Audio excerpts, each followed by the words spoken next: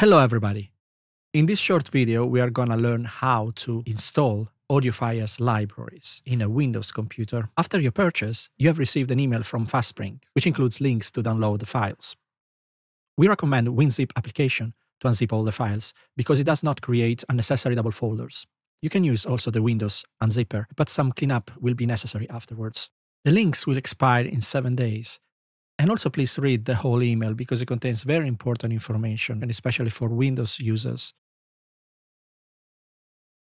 But now let's go back to links and click on each of them and save the resulting file to the downloads folder.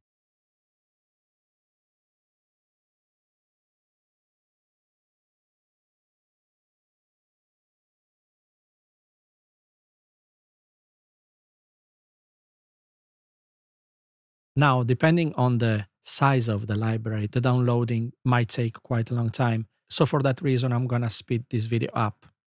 Now we can locate the downloaded files and see that we have one main folder, and depending on what product you purchase, you will find several samples folders. As mentioned earlier, we're gonna use WinZip. So first I need to right click on the zip file and then choose unzip to. I'm going to choose my music library drive, which contains all my Kontakt libraries. So I click Unzip, and WinZip will do the rest, creating a new folder for my library inside the desired drive.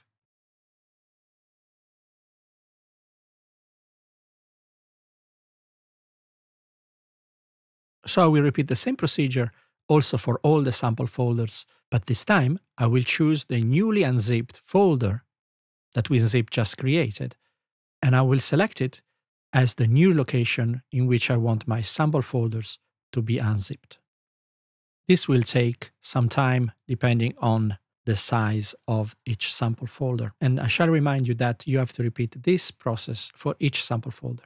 When all the files have been unzipped, I will be presented with this file structure so I will double click on the NKI file and the library will load.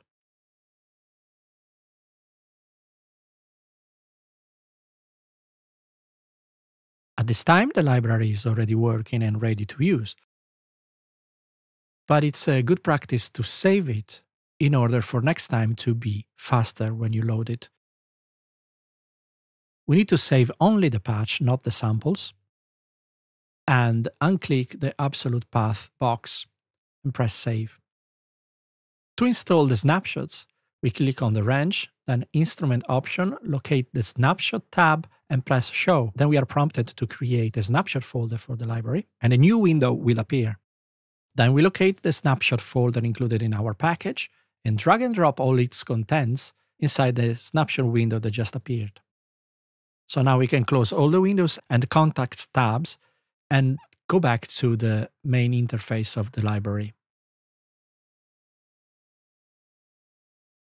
At this point, I can load any preset I want and enjoy my new library.